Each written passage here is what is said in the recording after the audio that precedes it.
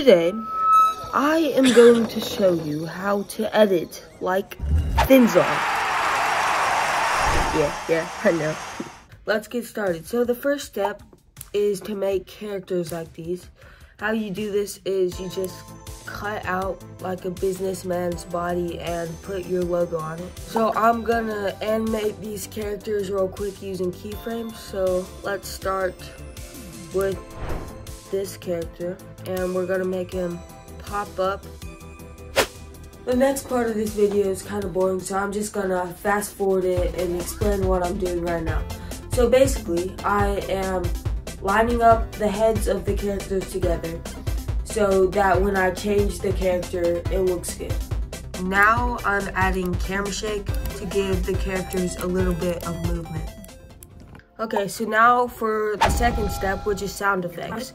The main sound effects he uses is whoosh, pop sound effects, fart sound effects, and like stone moving sound effects. I'll show you where each of these go in a second. So first of all, for the fart sound effect, he does this. So how you make the fart sound effect is it's like this. And then what you do is you go to audio effects, search reverb, move the box all the way out, uh, move reverb time all the way up, also brightness, move distance to like the middle.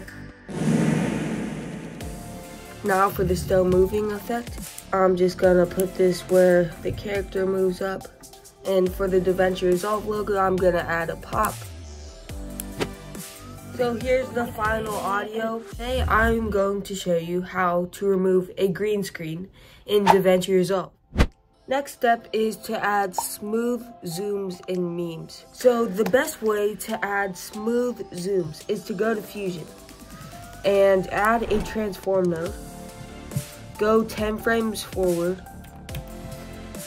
Go to um, keyframe center and size go 10 frames back, keyframe center and size, go forward, zoom in to wherever you want to zoom into, press spline, check the boxes, move up, select all keyframes, press S, go to settings, press motion blur, and then write 12. Now all you do is add all the memes you want, and there you go, you made a Finzar video.